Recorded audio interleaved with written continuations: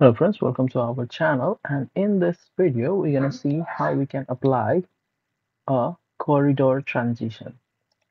So earlier we saw like we have different assemblies in the same alignment okay? Here you see the the reserve at this location is more and here it's lesser. So for this we use different assemblies. We have already have two types of assemblies here as you can see okay? And you see the reserve width is more here in the first assembly and second it's lesser okay? So when we want to apply a transition maybe some at some location we want our carriageway or any of the alignment to be of of a larger width and at certain point it may be of a smaller width. We can accomplish that with the same alignment using the corridor transition option. Okay? So let's click our select our corridor and then we have option here at the top for the edit corridor transition. Okay? So for this example maybe we will try uh, creating a bus layby a simple bus layby and the suitability of the location of bus layby may be depend upon a lot of factors. For example here we're gonna just use it uh, put it here. Okay and i will just take a simple bus layby standard type. Okay so let's see how we're to accomplish it. So first step is to select the alignment and then you will have contextual options available. From that you have edit edit corridor transition. Click on that. And then you will have a pop-out which first we'll display the corridor. We have only one and the alignment okay? And here you have a small option a small plus icon a, symbol with a plus icon. So this uh, you can let's move it over a little bit by using this grabbing this part. Okay we'll move it here. Okay so this one here if you uh, we have already clicked it okay? So when you click this this small um, plus icon create alignment uh, corridor transition. So let's let's click on this. Click on this and then it will ask you to select it. So as we hover over the you know trans transversely through our corridor you have highlighted lines okay? So at each you know when i when i hover over this particular location this is our main our carriageway and it gets highlighted. Okay if i click over it then i will have option to uh, increase the width of this particular part. So let's increase the width of this carriageway here we're gonna put a, uh, a bus layby okay? So let's select it. So when when make sure when this is highlighted you see in the blue it's highlighted then then just click inside it okay? Once clicked it will you will have option depending upon the type of the subassembly and its uh, properties okay you will have a lot of options. Right now we are only concerned about the width. I'm going to increase this width and uh, a typical bus layby symbol will you you will see somewhere on the screen and uh, some some kind of that we are going to uh, build it here. Here it will increase gradually and then for certain part it will remain constant and then it will decrease okay? So our traffic is coming from this way from uh, this this direction. It's going this direction so let's uh, let's just click on the width. And then here it, it's gonna ask me where I'm gonna start with uh, my transition okay? So for that I can either type or select I can select or type. The typing is better for accuracy. So I'm gonna start at 20 10 is 20 so okay I will just put 20 okay hit enter. And as you hit enter you will see here it's already start station is here. From here you also you can do it.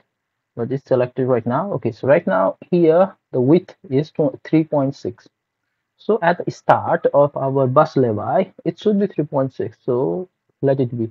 Just hit enter. Okay. Now, after how you know how far this uh, will reach its maximum value, that width. Okay. So this will reach uh, width. Maybe we, we increase the width uh, maybe three meters more, or maybe 3.5 meters. Okay, more for this particular.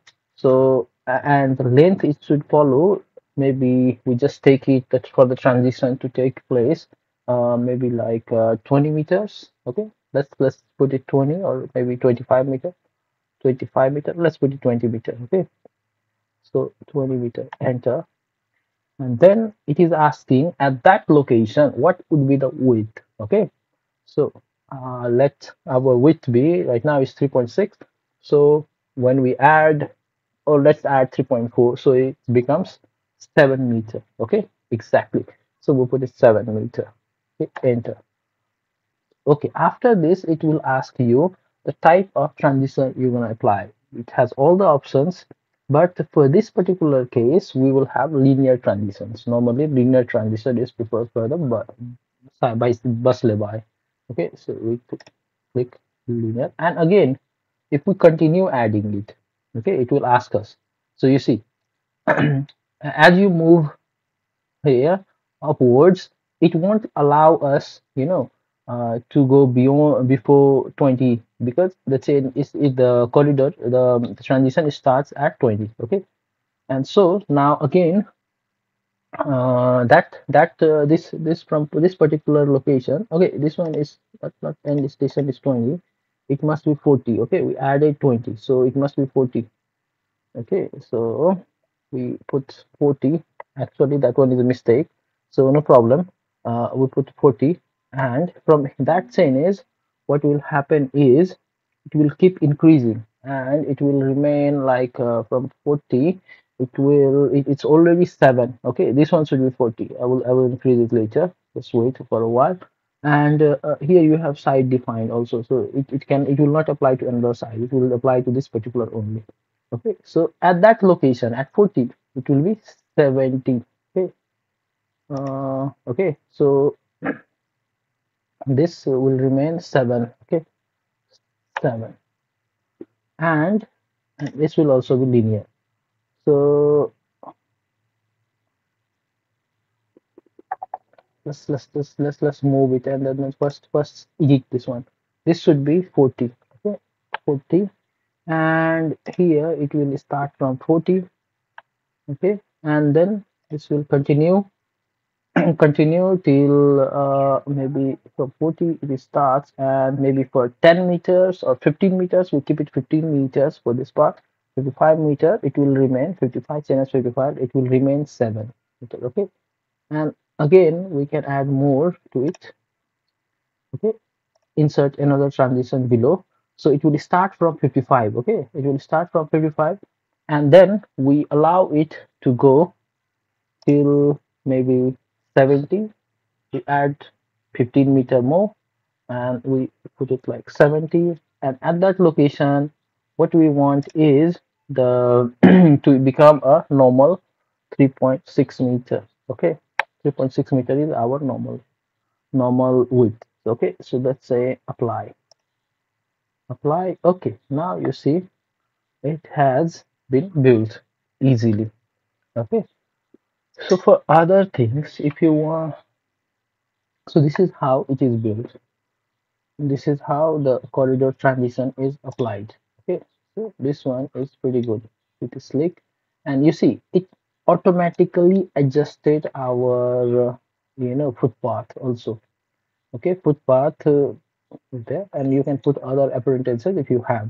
Okay let's check if it is seven meter or not. It must be. Okay so you see this part and you see it is okay so seven meter here okay? So this is fine. And uh, okay this is great. And you see the frequency has been increased number of the frequency has been increased.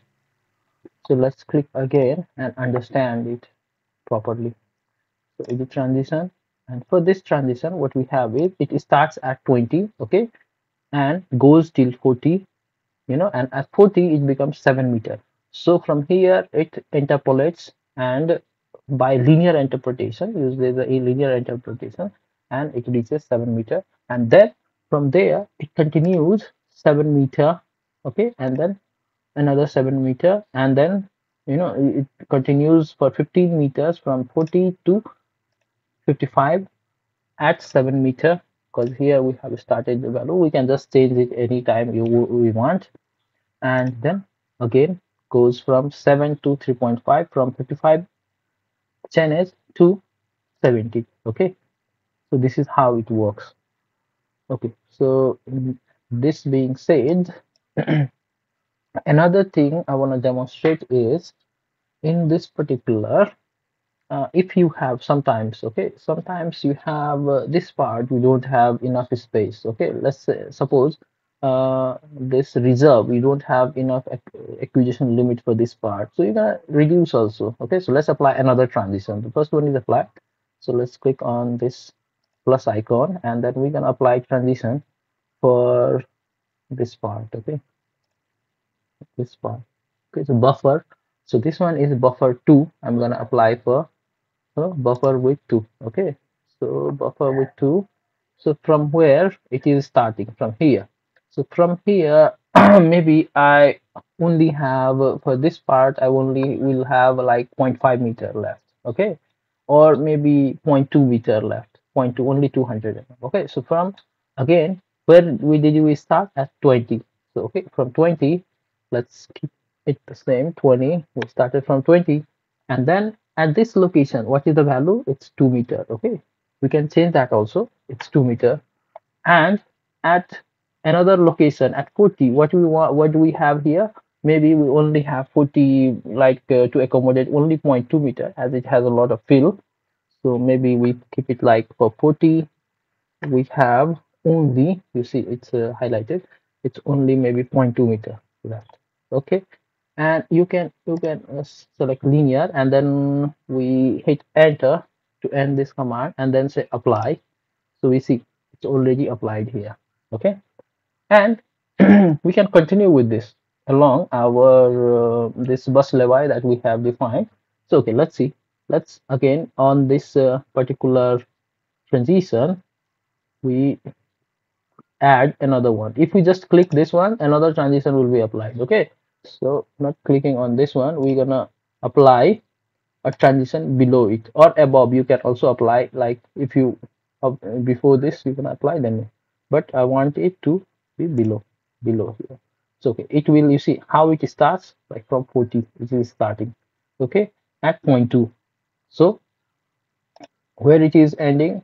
At this one is ending also at 755 so we're gonna say 55 okay enter. And then this one will for this part it will be only 0.2 meter okay? So enter and you say apply and you see. This one already you know pretty sleek so so another is uh, like again let's let's uh, add another one. Insert below okay? And you see it's already highlighted here right now. Okay so this one starts at 55 and with 0.2 and will end at where? 70 okay from there it will become normal. Okay so at that location it will become 2 meter. Okay so just by taper method we're gonna apply it. Okay you see it's pretty cool huh? So this is how you're gonna and if you want to delete a transition you can just click and then delete. Okay and and say apply. Okay and it's deleted. Okay but I don't want to delete it. Okay so here get back to the normal. Okay control Z twice and then it's undo undone. Okay so this is how you're gonna apply corridor transition in civil 3d okay hope this video helps you and if you find this helpful please share with your friends like and subscribe to our channel. Thanks. Have a great time